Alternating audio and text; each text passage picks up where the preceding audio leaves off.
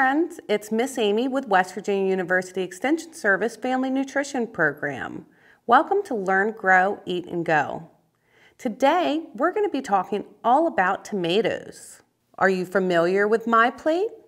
What part of My Plate do you think tomatoes go into? They go into the vegetable category on My Plate because of the nutrients they provide to our bodies. Tomatoes are full of folate, potassium, and vitamin C. Folate helps us build healthy bones and teeth. Potassium helps our muscles move, and vitamin C helps us have a healthy immune system. I have with me plum or Roma tomatoes. Let's take a look inside and see what it looks like.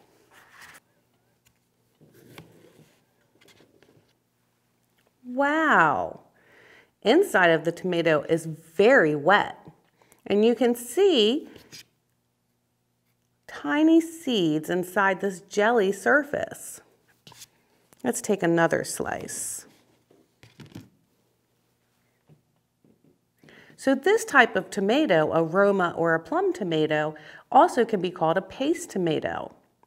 They don't have a very large meaty center like you would a slicing tomato. They're more used to make pastas. Let's take a bite. Mmm.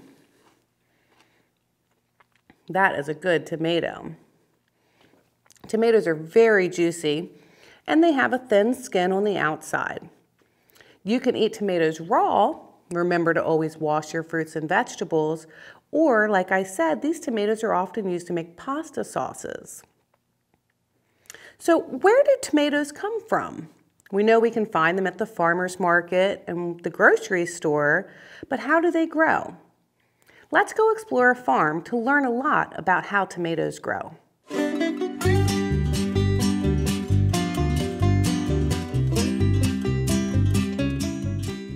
I'm Penny Goff with Gritt's Midway Greenhouse, and I'm uh, one of the owners and one of the third generation family member. We are in the hydroponic greenhouse facility of Gritt's Midway Greenhouse. And this is one and a half acres of tomatoes only in this facility. We, we have 15,000 plants in here and every week we pick about a pound and a half per plant off. There's a couple reasons that you want to produce hydroponically. Number one, it, you can grow more tomatoes in less space you use a lot less water for irrigation, so you're saving water. Plus, um, you can grow in more um, cooler seasons where outside you're, you're, dependent upon the weather and frost. Um, this particular way is in coconut fiber. So this is a ground up coconut fibers and the roots can go in there and as the water comes on, they take the food that they want and the rest of it leaves the bag. We're growing what is called a beefsteak tomato, which is basically a slicer tomato. We do them in red and we do them in yellow. The tomatoes come in about a foot tall and we clip them to a string that you'll see wrapped around them. Um, this, they, once a week we bring a little clip in and clip the plants and they keep growing up taller and taller that way. It can reach an average about 68 degrees a day um, so it will get hotter in the afternoon, so we'll cool down a little bit in the evening. Yeah, we, we have, the roofs are covered with actually two layers of plastic, which we use two layers to provide insulation. There's also roof vents up there that when it, on a warm day, those open up to let cooler air in. And then also there's a heat blanket up there that pulls across at night to keep um, the house warmer. Um, we do use beneficial insects. Um, because we're in an enclosed area, we have no way to pollinate. There's not wind and other bees and insects around. So we buy um, bumblebee hives, which um, come in and the bees work to do all the pollination in here. We use bumblebees instead of other types of bees because they're less aggressive. They stay here and work for um, their life cycle, which is about eight to 10 weeks. We buy the good bugs to eat the bad bugs so that we don't have to spray. Our bees don't like spray, number one, and we don't want to spray our fruits. So they come in on this little card. This is the larva of the, it's called Encarsia. And we bring them in and we hang them on a leaf and then they hatch out and go looking for the larva of the whitefly. When they will lay their egg in the whitefly larva, which is a pale whitish green color. So once, if you get an episode of whiteflies, you'll start noticing that instead of white dots on the bottom of the leaf, it'll be all those little black dots from these. 85% of our crop go to Kroger stores in West Virginia, and then probably a good 15% go to schools in Putnam, Kanawha, Wayne, sometimes Cabell County. And then the rest are sold either just in our grocery store or in our retail store or some other small grocery stores.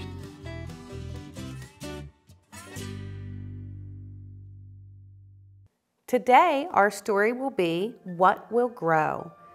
Written by Jennifer Ward and illustrated by Susie Ghahremani. Rolly round, rain soaked ground. What will grow? Peas.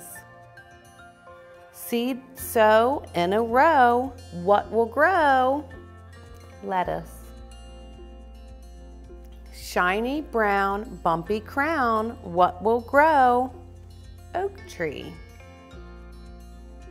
Fluffy white taking flight, what will grow? Dandelion. Very tiny, then so viney, what will grow? Tomato. Stripy black, crunchy snack, what will grow? Sunflower. Soft hairy on the prairie, what will grow? Milkweed. Peck, peck, peck, dark speck, what will grow? An apple tree. Oval, flat, soon fat, what will grow? Pumpkin. Flowery fruit, orange root, what will grow? carrot. Beige bead, chunky seed, what will grow? Radish. Snug tight, paper light, what will grow? Pine tree. Dark, deep, fast asleep, what will grow? my garden.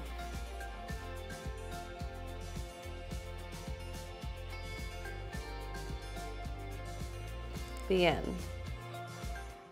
Hi everybody, I'm Miss Shannon and today for our physical activity, we're gonna be doing garden yoga. I hope you enjoy. We're gonna start by smelling the garden. Gardens are full of plants and flowers that smell beautiful. Take a deep breath through your nose and slowly exhale through your mouth. Do this five times.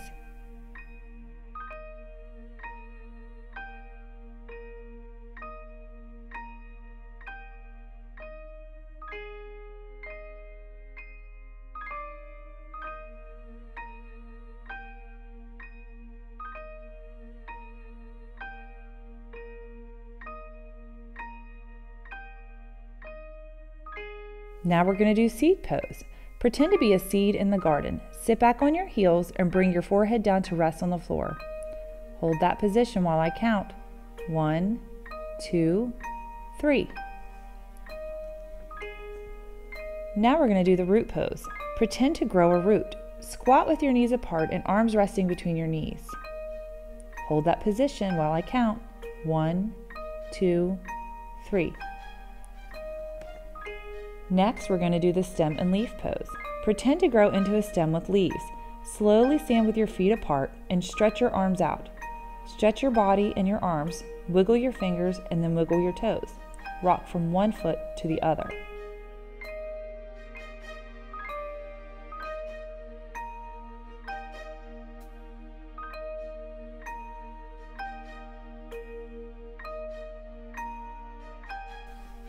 Last, let's do some wind breathing. Let's move with our breathing as the wind moves the plants. Stand up, raise both arms out to the sides of your body. As you inhale, move your arms up. As you exhale, move your arms down. Let's do this five times.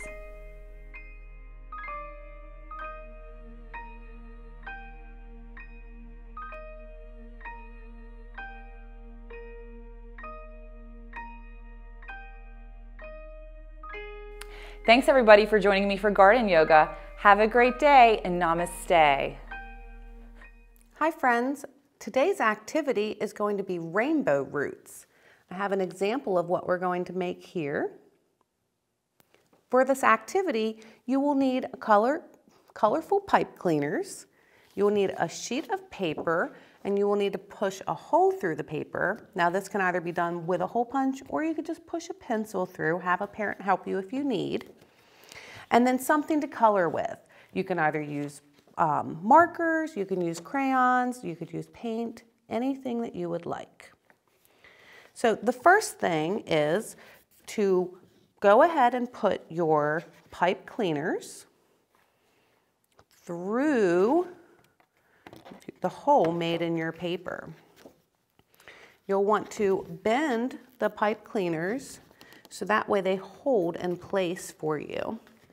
I like to bend them and then kind of twist them around each other so that way they stay really nice and snug. So these are our roots of our plant.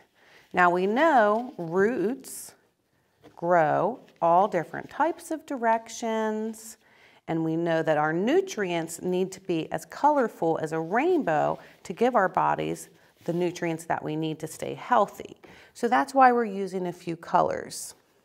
Now you can bend and twist these any way you would like to get them to stay on your paper. Try to get mine to stay where I want them. So that way, when it's flattened out, it will stay on my paper. And then the next thing on our plant is a stem. We'll want to put a stem on. Now remember our stem moves the nutrients up our plant. We also have leaves.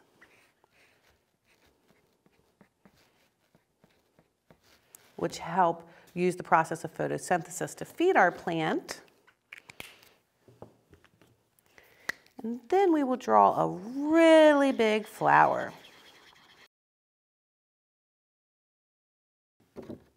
And there is our rainbow root. You can use whatever colors you would like to make your flower or your roots. You can use either paint and crayons, you can use markers, whatever you have available. And remember, if you make this activity and your parents can take a photo of it, you can tag us on Facebook or Instagram. Thanks for joining us for today's activity. Let's go visit Molly in the kitchen and learn how to make bruschetta. Hi, I'm Molly with West Virginia University Extension Family Nutrition Program, and today we're going to make a garlic tomato bruschetta. This is one of my most favorite recipes. I've already washed my hands and my ingredients for our recipe in the cooking surface, so I'm all ready to get started. The first thing we're going to do is take a one pound loaf of French bread and slice it and toast it under the broiler or in the toaster. And I'm gonna cut thin pieces. A bread knife works best with a serrated edge so you don't end up squashing it. You could certainly use a whole grain baguette if you could find that.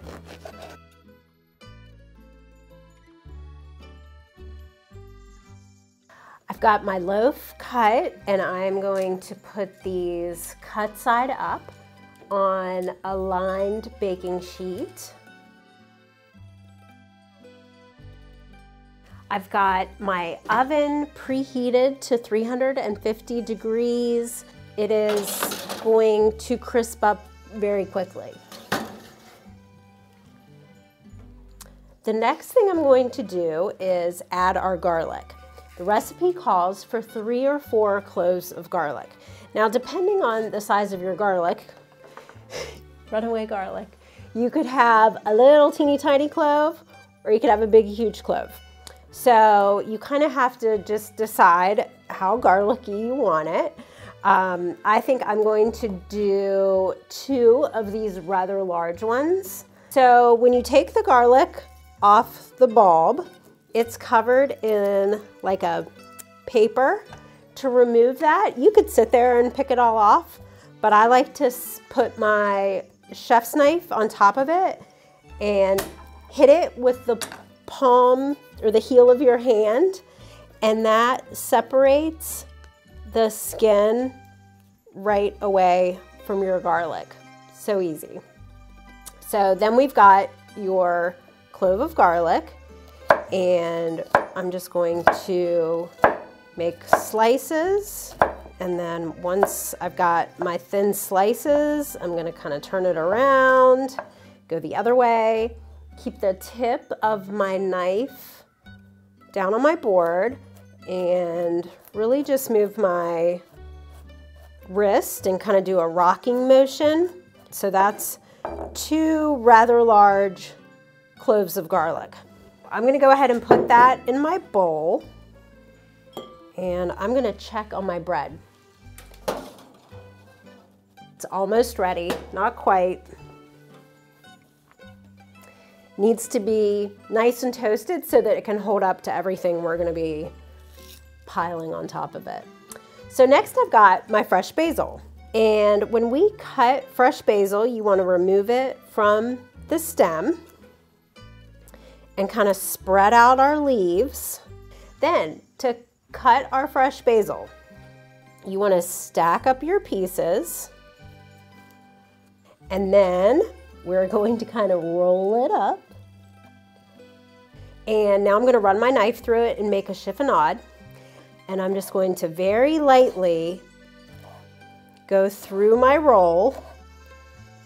And again, I'm not, I don't wanna push too hard, be too forceful. Isn't that gorgeous? So I'm gonna add this to the garlic. And next we've got our tomatoes. We're using a Roma tomato. They aren't as juicy as like a slicing tomato, which is good because we don't want too much liquid. When I cut a tomato, I'm gonna cut the tip off so that it's flat. And now I'm going to make two more flat surfaces, just like that. I'm going to now go cut um, half moon shapes and then stack those up and cut chunks and then run my knife through, keeping the tip down and my fingers out of the way and just kind of get a nice dice with that tomato.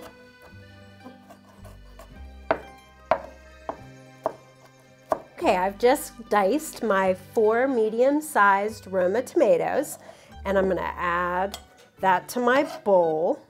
Now I'm gonna add about a quarter teaspoon of salt. We really want to go easy on the salt at first, definitely, because we're also gonna add some Parmesan cheese, which is a very salty cheese. So add a little bit of salt a couple of cranks of fresh ground black pepper, a quarter cup of extra virgin olive oil, and a quarter cup of freshly grated Parmesan cheese. It definitely is cheaper to buy a block of Parmesan cheese and grate it yourself. Then we're gonna mix that all together. And we want to refrigerate this for an hour to let all the flavors come together. So I've removed our bruschetta mixture from the refrigerator and it smells so good. Our bread is toasted and I'm going to put them on the plate. Now we toasted these to help hold the bread up to this mixture that we're going to add. It, uh, after it was refrigerated, it brought out some of the juices. That is gonna get absorbed into this toasty bread and just knock your socks off. and I'm just gonna place, I would say about a tablespoon on each piece.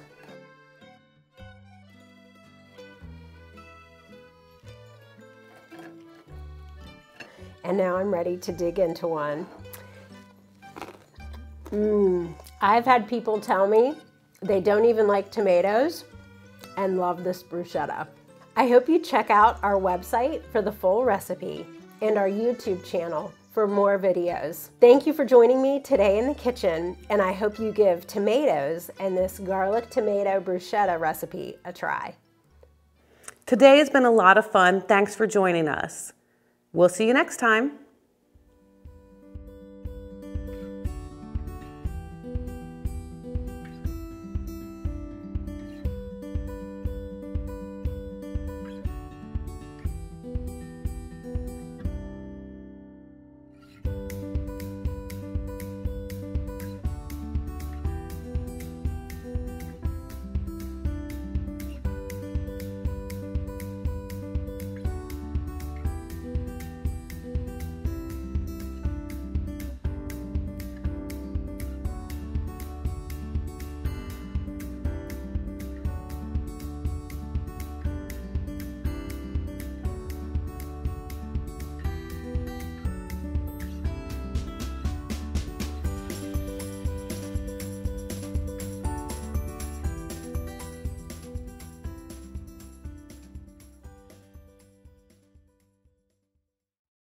I hope you guys had a great time learning all about tomatoes today. To wrap things up, I decided to come down to my buddy Justin's music shop at Folklore Music Exchange in Charleston to play you guys a song about my favorite vegetable. Or is it a fruit?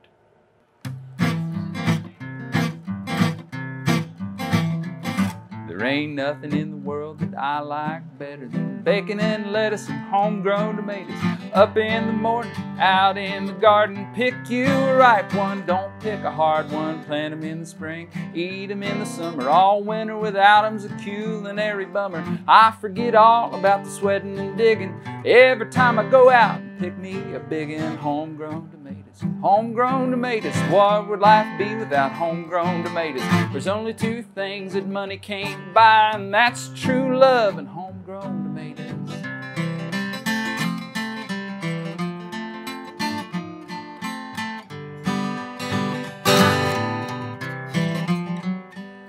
You can go out and eat, that's for sure, but it's nothing a homegrown tomato won't cure.